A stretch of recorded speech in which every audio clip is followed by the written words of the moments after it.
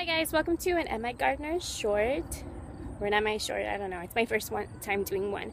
But yes, this is what I have here is a watermelon. And it was actually already detached from the vine, so it means it's just ready to harvest.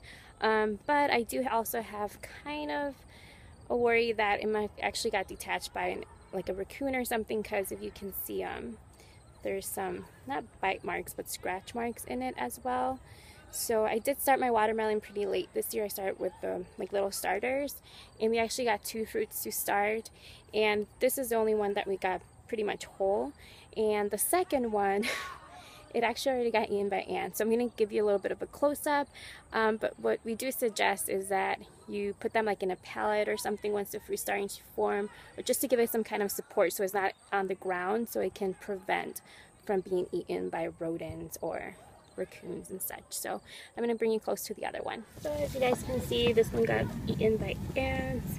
It looks like it's really sweet because it's attracting them. So it was getting also actually a little bit bigger and juicier, but it's all fine. It just goes back to earth and remains all organic. And some of the cucumbers just kind of stopped growing. It's been very wet and cold. And I do have some cayennes in here. So I'm to take that one.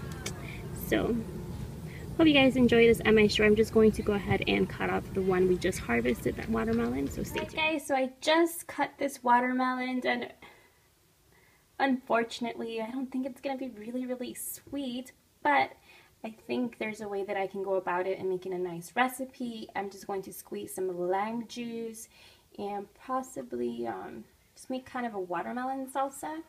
Uh, with some like, you know, pico de gallo ingredients, some tomato from the garden, some peppers, and um, or jalapeno.